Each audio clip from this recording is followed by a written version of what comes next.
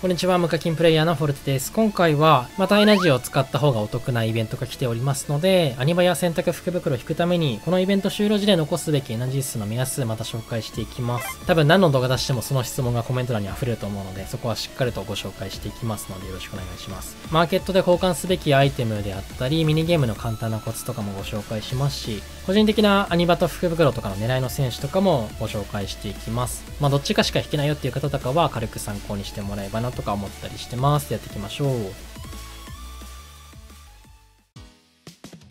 ではまずシナリオプレイですね。こちらも毎日しっかりとこなしていってください。報酬が用意されてますし、得点を使うことができます。で、今後の得点なんですけれども、10月の30日から経験値1.2倍が使用可能になります。そのため、この4日間なんですけれども、この1.2倍が使用になるまでは試練の方が比較的おすすめになるのかなと思います。で、それ以降は経験値的に V ロードと組み合わせた方がお得なので、30日を区切りに、それまでは試練中心、それ以降は V ロード中心ってね、やる試合を割合とかね、分けていただけると少しでもね、獲得経験値とかお得になるんでおすすめかなと思ってます。スタミナ回復40が11月2日、11月6日が経験値1.5倍、10日がスタミナ回復100、14日が経験値1.8倍ですね。こちらがアニバ2弾の直前ぐらいという風になっております。そしてプロスピマーケットですね。こちら V ロード試練とかミニゲームとかこなすとマニーが獲得できます。そしてそのマニーで好きなアイテムと交換できるというイベントになってます。ただし交換すべきものと別にしなくてもいいものがあるので、個人的にしていこうかなと思ってるものをご紹介すると、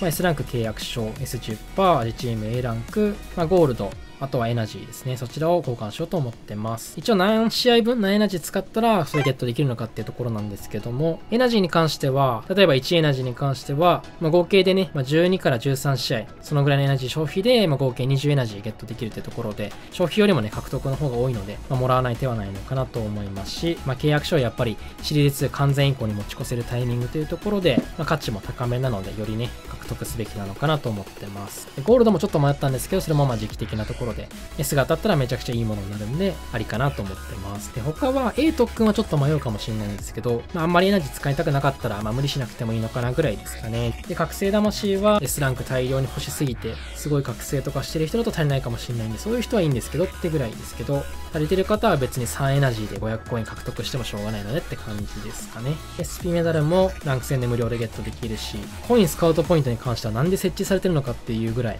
意味のないようなものになってるかなと思ってます。抽選ボックスをね、基本的に交換アイテム終わったら引いていくようにして方がいいのかなと思います。で、この抽選ボックス過去663回の記録まとめてるんですけども、100回引いたら、まあ、27回ぐらいエナジーが返ってくるって感じになってますので、まあ、1試合したら1回引けるってわけではないんですけども、低くても20から25%ぐらいのエナジーバックが見込まれるのかなって感じですかね。100エナジー分かな活躍ゲージ毎回500でやった場合で16,500マニーを使った場合だと、この記録からだと、まあ、エナジーが22ぐらい返ってくるみたいな感じになってるんで、まあ、普段も何もない時に比べて、まあ、フェスタとかに劣りますけども、エナジーがしっかりと返ってきて、B ランクゲットとかが中心できるっていう感じですかね。たくさん試合をしたい試練アイテムが全然ないとか、特訓素材まだまだ足りてないよっていう方は、この機会にアニバ選択の準備とかね、してもらえばいいのかなと思ってます。で、A ランクに関しては100エナジー使っても1枚当たるか微妙な確率、多くてもしかして150試合ぐらいしなきゃいけないっていうかもしれないっていう感じになってるんですけど、まあ当たるは当たる確率になってるんで、抽選ボックス結構引くんだったら、A1 枚が当たるとこまではね、やっていただけると、まあ少しお得なのかなっていう感じですかね。あとちょっとで引けなかったらもったいなかったりするんで、まあそのぐらい目安に僕はやろうかなと思ってます。で、エナジーがもうなさすぎてやばいっていう方ですね。どうしてもガチャ引きたいんだけども、この後紹介する残すべきエナジー数にちょっとだけ足りてないよっていう方に関しては、今回に限り、さっきのゴールド契約書とか、まあ、自チーム A ランクとか S10% かな、そこはちょっと交換しないっていうのも一つの手にはなってくるのかなと思います。まあ、実際エナジー数的に獲得した方が絶対お得なんですけども、まあそのガチャが最優先って考えるのであれば、そこは獲得しなければその分ね、エナジー数は無駄に消費することがないのかなと思います。まあその分抽選ボックスに回せばエナジー出てくると思うんで、まあ少しでも増やせるやり方になるかなと思います。具体的な数字はこの後ご紹介していきます。で、ミニゲームのコツなんですけども、まあどっちの方でも第1球種が多いピッチャーを選んでください。ボーナスが出やすくなるっていうところが大きくて、え、それが出てるほど、やっぱり獲得マニーがね、多くなりやすくなっていきます。で、まあ、ブレイクザブロックは、ま過去動画見ていただいた方が、まあ、わかりやすいのかなってとこなんですけども、ミッションクリアを一番意識して、たくさん多く壊していくくっていうのが大事になってきます。で、シュートザターゲットに関しては、なるべく、ま右側で当てること、まあ、余裕が出てくるんでね、右側で当てていく。で、ボーナスが出なかったらわざと外して出すってところですね。最初、ボーナスがないって思ったら瞬間に、速攻、まあ、何でもいいからすぐ投げる。で、外してもらって、次のボーナス出るのを待つっていうやってもらえれば、まあ、ある程度球種持ってるピッチャーだったら普通に2分の1で出てくると思うんで、まあ、それで30マニね、無駄にしない、獲得ちゃんと漏らさずできるのかなと思います。ミニゲーム結構獲得多くなってくるんで、しっかりとコツ活かしてやってみてください。ではお待たせです。11月の1日、マーケットの終了時ですね、15時時点で持ってれば、各ガチャギリギリ最終日に引けるんじゃないかっていう目安をご紹介していきます。たまるエナジーのペースは月900から1000エナジーの感じでやってます。エナジーの獲得が多いその週とかね、多くない週っていうのもありますので、まあ、開催時期が近いアニバ1段とか、それを引こうと思っている方は、もしかしたらそんなに獲得できない可能性もありますんで、もう少し余裕持っておくべきと考えておいてください。まあ、とりあえずアニマ120選択50であれば、3500、600ぐらいあればなんとか引けるんじゃないかっていう目安になっております。で、またちょっと来るかわかんないんですけど、まあ、11月、まあ、プロスピフェスタぐらいかな、イベントで結構エナジー使うとしたら、まあ、半年ぐらい来てないっていうところなので、まあ、そちらも一応マークっていうところで、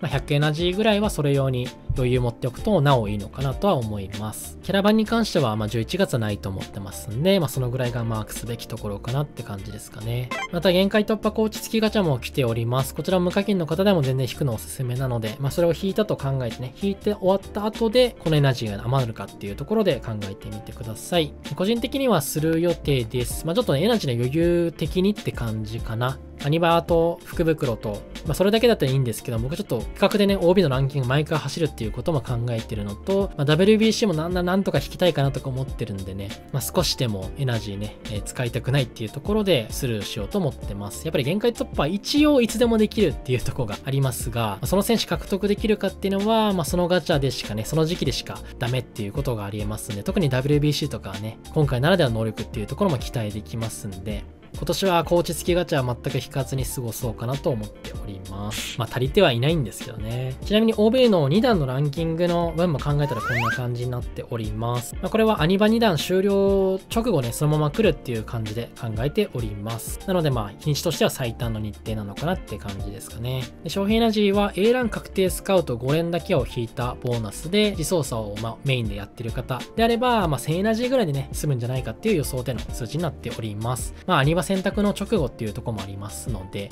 まあ、ダルセルに向けて頑張ってる人もね、多いのかなと思いますんで、そんなに激しくならないと予想しております。ただし30連がっつり引いてボーナスつけるっていう方だと、まあそれプラス500ぐらいはかかると思われるんで、まあその目安よりもさらに500ぐらい余裕を持って考えてみてください。まあ、自チーム確定が OB ガチャあるかはまあ確定してないんですけど、まあない前提で、えー、今回設定をしております。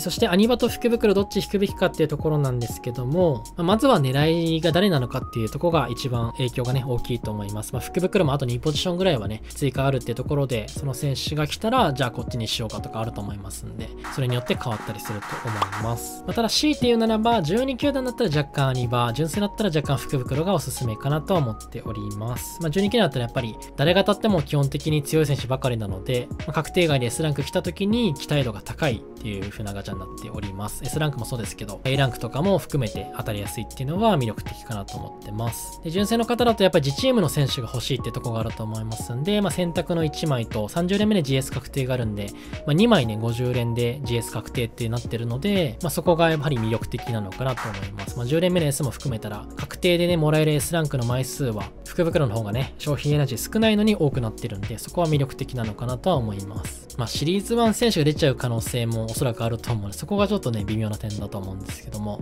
まあ、ランダム S はミキサー要因ぐらいの感覚でね、純正の方は多分引いてると思うんで、まあいいのかなと思ってます。アニバーサリーで星3コンボがつくっていうとこが、まあ、ほぼ確定だとは思っていますので、まあ、純正の方は両方絶対引かなきゃいけないとかないと思うんですけども、片方はなんとかね、引いていきたいところかなと思います。で、まあ再度言いますが、誰次第かっていうところでね、まあアニバだとデフォルト A とかね、称号で A に乗るとか、そういうならではのステータスもありますので、その選手によってもやっぱりアニバがいいのか通常がいいのかのかっていうところは変わってくるんで、そこが難しいところかなと思います。で、個人的な予定なんですけど、まあ、リーグ重視の方とかであれば、アニバーサリーは坂本選手、青柳選手とか、そのあたりがね、あと山本由伸投手とかね、そのあたりがおすすめになると思うんですけど、僕はリアタイ重視で楽しんでるので、もともとはアニバで柳田さん、千賀さん取る予定でした。まあ、ただそこが通常まさかの当たってくれましたので、アニバ1段は宮西さん、2段で山本由伸さん、で、選択福袋で田中将大さんかなと今のところでは思っております。もしくちょっと選択福袋はまだ未定ですね。やはりまあシリーズ1のビエラ投手とかね、ちょっと諦めきれないところが